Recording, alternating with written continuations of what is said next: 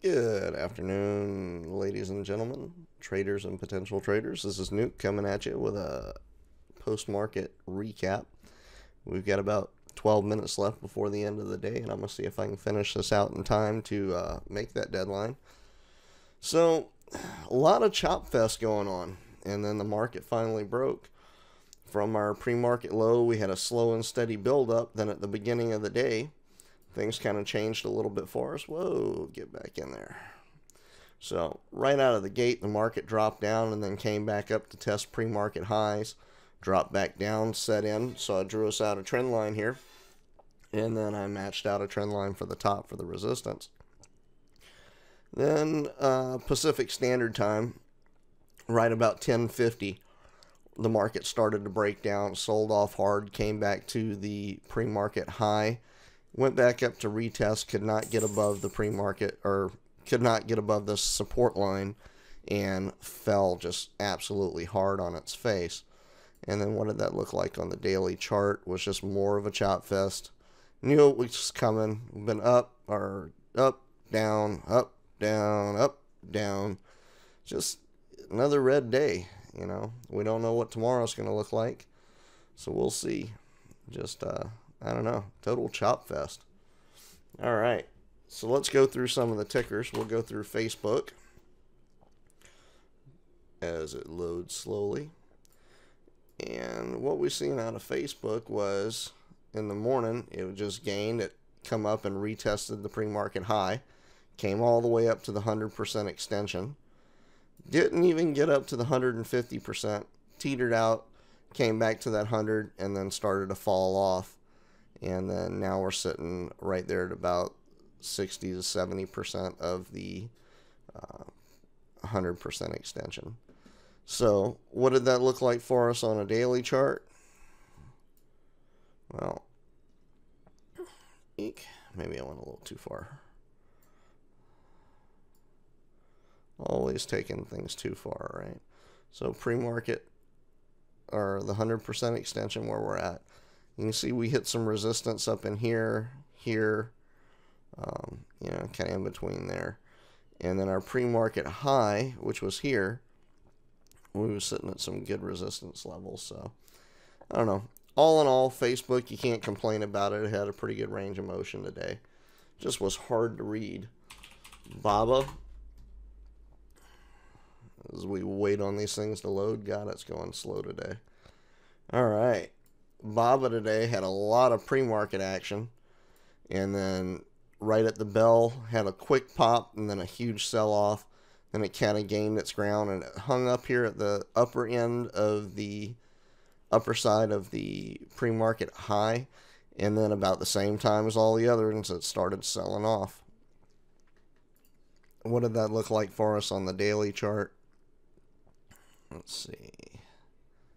There's our pre-market high. And you can see where this resistance line comes across. And then the pre-market low, right about there.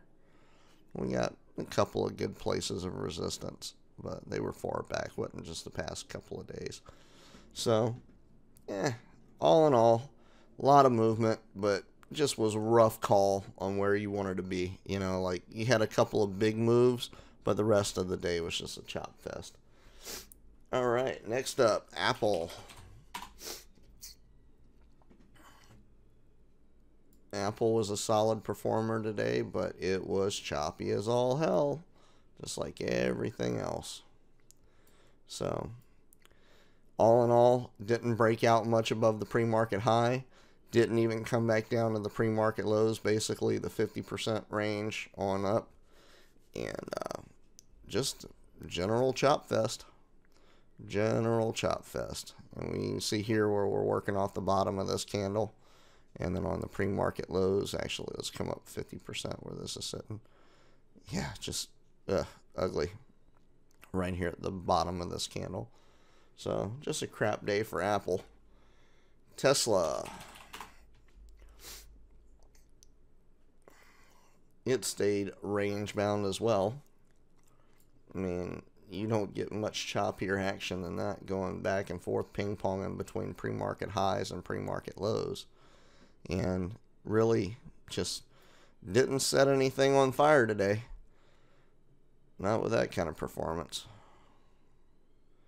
Let's see. Right about here is our pre-market high. Our pre-market low. Yeah, just eh. Icky, icky, icky.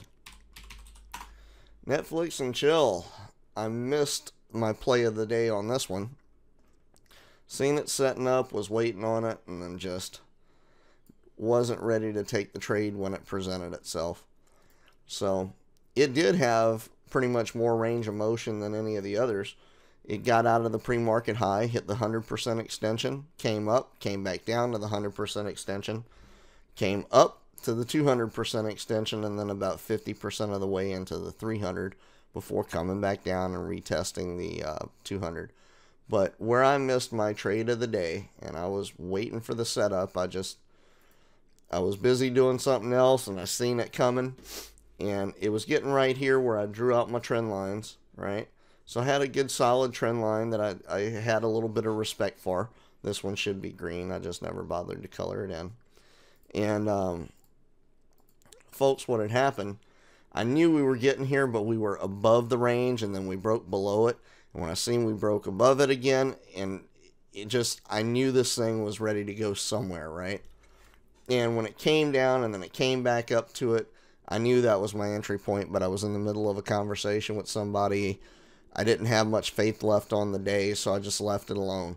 I missed that entry point, and oh hell, let's see how big of a move it actually ended up being. Uh, four dollars and then yeah, you could have got a little bit more out of it, but I think right here is where I would have gotten out. Um, actually, maybe it was here. Anyway, it was definitely three dollars plus movement, and that was the plan, but I just did not execute it. It set up, and I failed to take the shot. And what do they say? We miss 100% of the shots we don't take. So on the pre-market or the uh, Fibonacci, if you compare that to the daily chart where we're at, you can see this was the 200% extension. Really wasn't clear um, other than right up in here. You know, you can see some resistance, and then on a little on the high side, you got one here. Um, but really, no clear cut guidance there as what to expect. And then a little bit higher, you got this one here, and that topped out right here you know, you can see where that translates across to. So all in all, it had a lot of had a lot of range today. It just was hard to pick out where to get your entry and exits at. That's it for the big dollar tickers. We'll take a look at AMD real quick. AMD, the devil darling, does you dirty and likes to do it. Um, what did she look like for us today? Come on, TOS, don't be mean. Uh, stayed. She had a quick little cover pop, and then came back a little over halfway from the pre-market action, and then just stayed up in this range. Got a little bit low, and then came back. Just was a rough day if you wanted to play with her.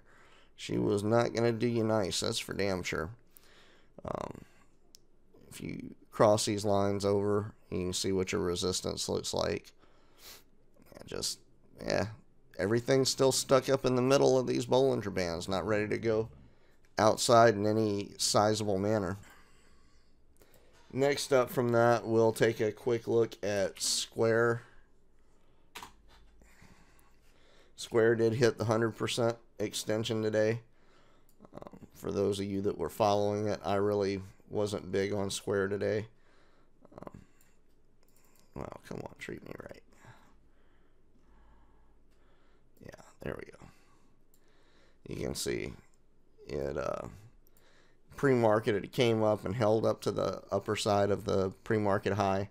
Got up to the 100% extension. Came back down a little bit. Retested, retested. Finally broke it. And then it just kept testing it on the bottom side. And then when the SPY gave way, it finally started to come back down to the pre-market high. So all in all, like you can see, it's still stuck in the middle too nothing's really breaking out of these ranges. So hopefully later on today, um, not today, tomorrow, later on this week, we see a little more action and things get to going somewhere. If not, maybe next week will be a better week, right? So that's all I got, guys. 10 minutes and we're done. Hit the like button, hit the subscribe button, leave me some comments and feedback. Let me know what you think. And, uh, you know, y'all let me know if y'all like this simpler is better format. All right, guys, I'm outie.